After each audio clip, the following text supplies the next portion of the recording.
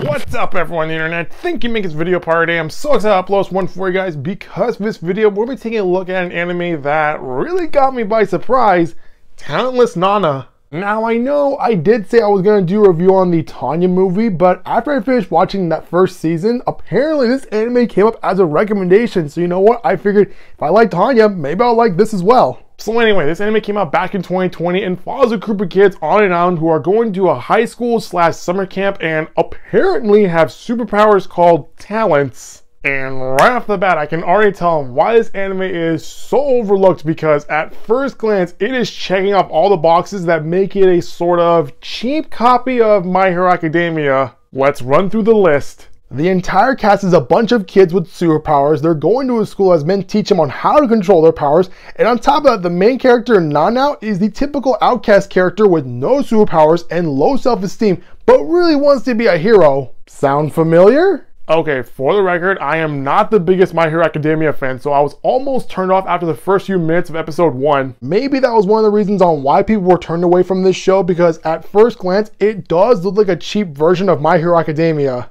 Despite its quirky nature, no pun intended, I decided to continue on forward with episode 1, which pretty much introduces the whole cast of characters. I mean, there's a kid that can shoot fire, there's a kid that can shoot ice, there's a kid that can teleport, there's a kid that can heal. So there are a lot of different kind of powers that you're introduced in the first episode of the season. Enter Nana, who is the annoying cute girl that every anime needs. And shouldn't come as a surprise that this character also has a superpower, which is the ability to read minds.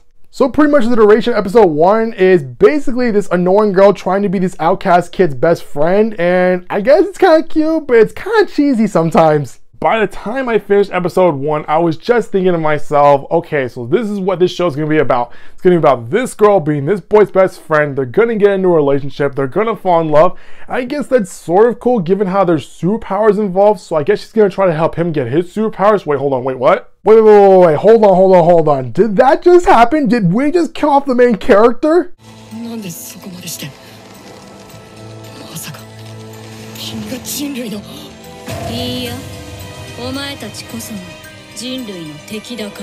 so this is where the show reveals its true nature as the main focus is centered around Nana who's just a regular person with no superpowers whatsoever and has been sent to this island by the government with only one mission in mind.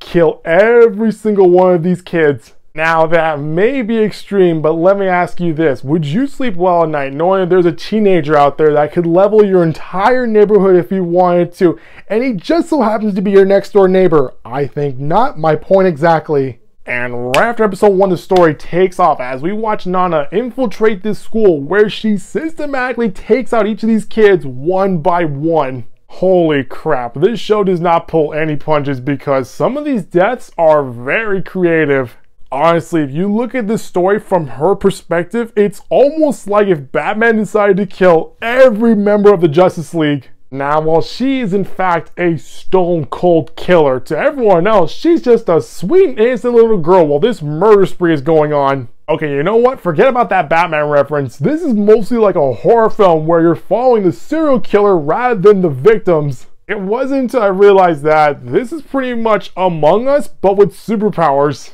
Now, I have sort of mixed feelings about Nana. On the one hand, I love how she's able to kill off these superpowered kids. But on the other hand, her ways of convincing everyone that she's innocent in all this is a bit of a stretch. She pretty much plays the cute little innocent girl call whenever someone is suspicious of her. And even though she is near a dead body, everyone else will say, no, not Nana. She's too little. There's no way she could have killed this guy. He's too powerful for her.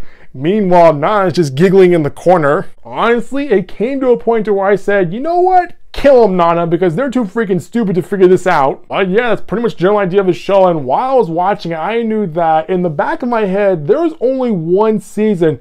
So while I was enjoying most of the episodes, I was just hoping that the finale would stick the landing. Well, it sort of did. And without going into spoilers, I will say that there comes a point where Nana has her come to Jesus moment right before the credits roll. And that would be a great ending if there was a second season where we could ride off that emotional cliffhanger. But knowing that there's only one season and the odds of a second season being made is less than likely, I gotta tell you, I was kind of a bit disappointed. Had the ending been different and more tailored to a one done kind of story, I would have given this show a much higher score. but because the season ends on a very downer of a note, it does leave a sour taste. But still, I highly encourage you that you give this show a chance because it does take the popular superhero trend and adds its own unique twist to it that really does make it stand out from everything else. So to summarize this entire anime, Nana is a wolf among sheep. But anyway, if you're looking for something to watch right now, I highly recommend you watch this show. And with only 12 episodes, it is super easy to binge through. Watch, Nana's gonna come through the door right now to kill me for that bad pun. Well, that's gonna do it for this video, guys. That was my overall view on Talentless Nana. If you like what you saw, click the subscribe button so you can know what's up from this channel. I'll see you next time with a brand new video. Bye-bye.